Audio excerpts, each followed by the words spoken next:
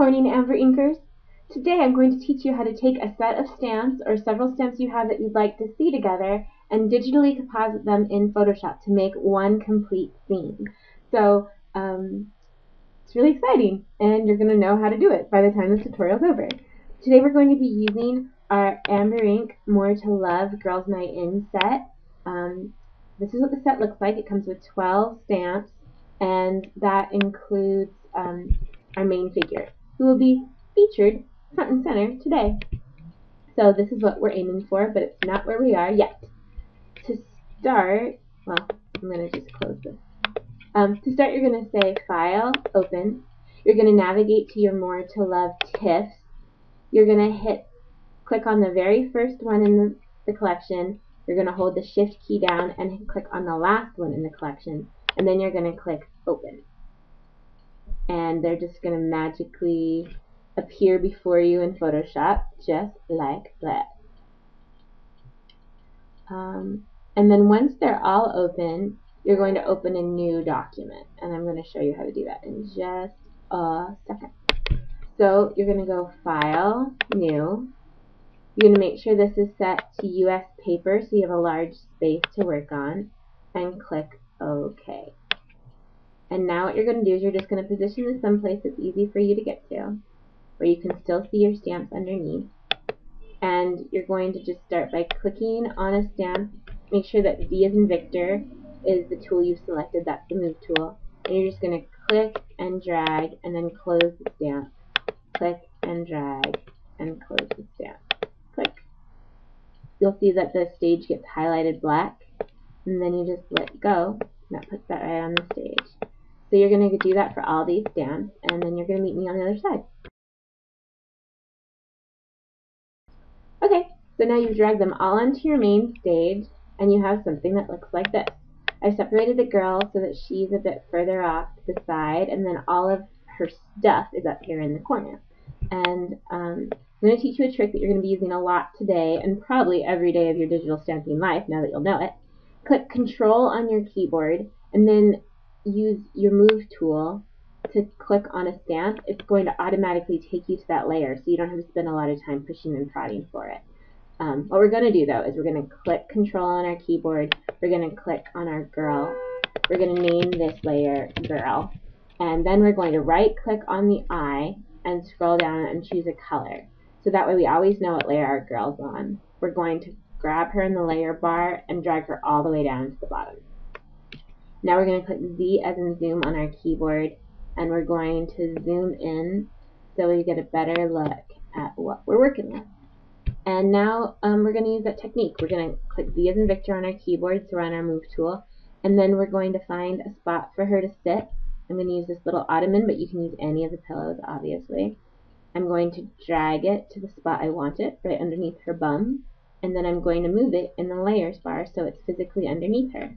Then I'm going to click Control T as in Tom on my keyboard and I'm going to change this. This is width and this is height. On any DigiStamp that you transform by clicking Control T, that's your transform um, tool, you're going to make sure that they match.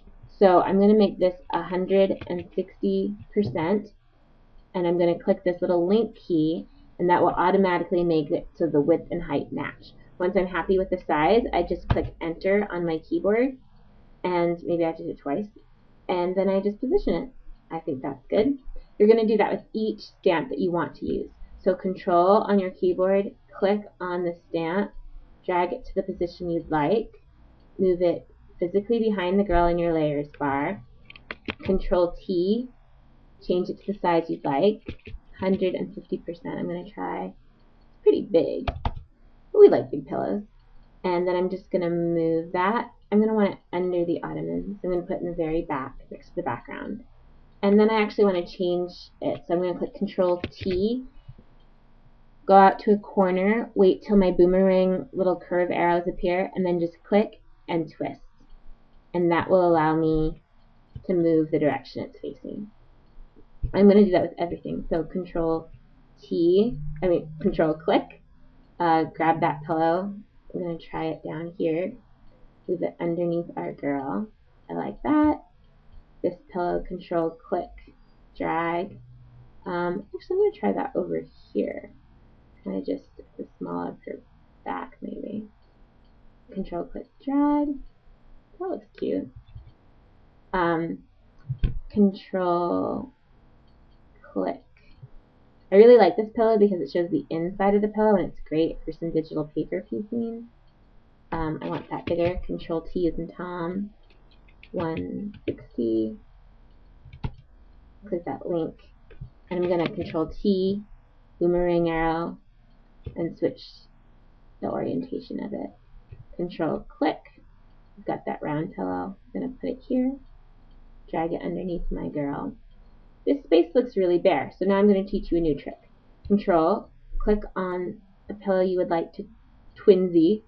Um, you want to leave this one where it is, but maybe you want to use it again. Click the ALT button on your keyboard. It's going to give you a black and white overlapped arrow. Click and drag, and you'll automatically recreate that pillow in a new layer. So now I'm going to Control T. I'm going to change the size of it so it's a lot smaller, um, 60% or 70%. I'm going to click my link arrow, and now this has automatically become a pillow that's the same collection, but not the same pillow. I'm going to change the orientation of it by Control T, boomerang arrow, twist, and I'm going to put it here. Um, and I'd actually like this pillow again, so I'm going to Control, click on the ottoman, out. um, that will give me my two little arrows, click drag, Control T, change the size, make it an itty bitty. And I'm going to actually put it up here. Now, it's behind things I don't want it to be behind, so I'm going to drag it up so it's just barely, barely behind the girl. And actually, it's looking a little too symmetrical for me, so I'm going to put it down here, little mini one. Uh, I'm going to move her perfume. I'm going to give her easy access to this delicious looking martini. Um, control click on her mask I'd like it facing the other direction, so Control T, twist. Hmm, maybe there. Control T, twist. Uh, control, click on the black part of anything so that you can easily move it. Um, otherwise, it's going to think you're clicking on nothing because it's transparent. Um, position it where you'd like it. Control, click. Give her that nail polish right there. I'm going to make it a little bit bigger so it's better to color. Uh, click on the link. Oh, it's a lot bigger. It's a nice bottle of nail polish. Um, and I actually want that stain to go right there. Um, all you have to do now is Control S. Make sure that you save it as a Photoshop Girls Night in Scene. .psd and uh, you're good to go. You've learned how to make your own scene in Photoshop. How awesome are you? Um, anyway, you can use this with any digi stamps you want. It's a great technique, and thank you for amber inking.